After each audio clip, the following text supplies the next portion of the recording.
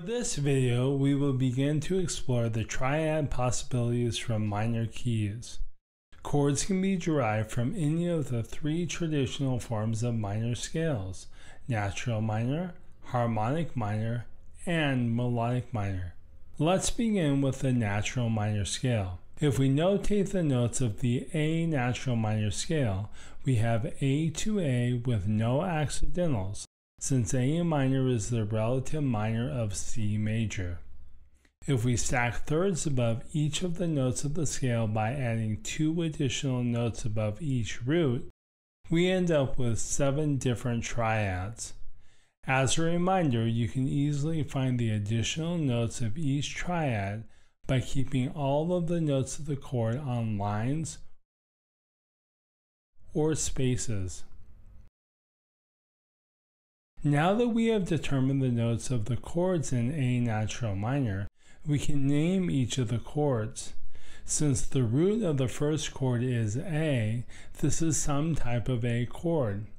By determining the intervals between the root and the third, and the third and the fifth, we can name the chord. From A to C is a minor third or three half steps and C to E is a major third or four half steps. Therefore, we have an A minor triad. For the next triad, we have B to D as a minor third or three half steps, and D to F as a minor third, again three half steps. Therefore, this is a B diminished triad. For the next triad, we have C to E as a major third and E to G as a minor third. Therefore, this is a C major triad. If we continue up the scale using the formulas for triads, we will determine that the fourth chord is D minor. The fifth chord is E minor. The sixth chord is F major. And the seventh chord is G major. This returns us back to A minor, a chord that we do not have to rewrite since it is the same as the first chord. Now that we know the names of the chords in the A natural minor scale, we can determine the Roman numerals. Since A minor is the first chord, we will use a lowercase 1. The 1 shows that it is the first chord in the key, and the lowercase shows that it is minor. With the B diminished chord being the second chord in the key, it will get a 2 Roman numeral. We will use the lowercase 2 with a circle to show the quality as diminished.